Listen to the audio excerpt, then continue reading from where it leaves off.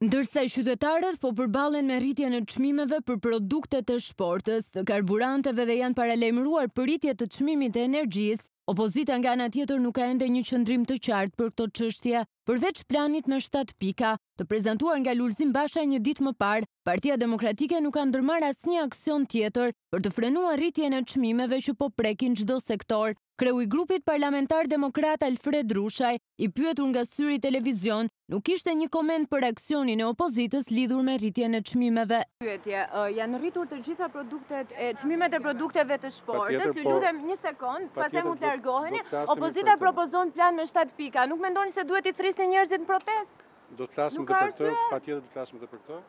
Por opozita dhe mazhoranca kishin arsye të tjera për të festuar këtë të hënë. Konferenca e Kryetarëve miratoi vendimin për zhvillimin e mbledhjeve të komisioneve me praninë fizike të deputetëve, të cilët do të paraqiten në Kuvend vetëm duke dorëzuar certifikatën e vaksinimit.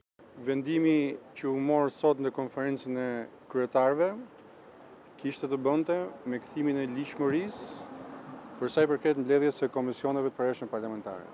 Ajo çfarë u ra dakord është që në mbledhjen e datës, në seancën plenare datës katërmbëdhjetë tetor, këto komisione të kalojnë në seancë plenare.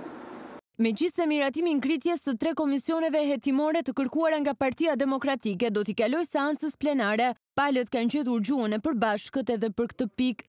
Ne kemi arritur, do e quaj unë, me një konsensus sot që ta fusim diskutimin për komisionet në hullinë e një diskutimi të parashikuar nga vendimi i Gjykatës Kushtetuese, pra në domosdoshmërinë e gjetjes së një konsensusi për objektin e hetimit.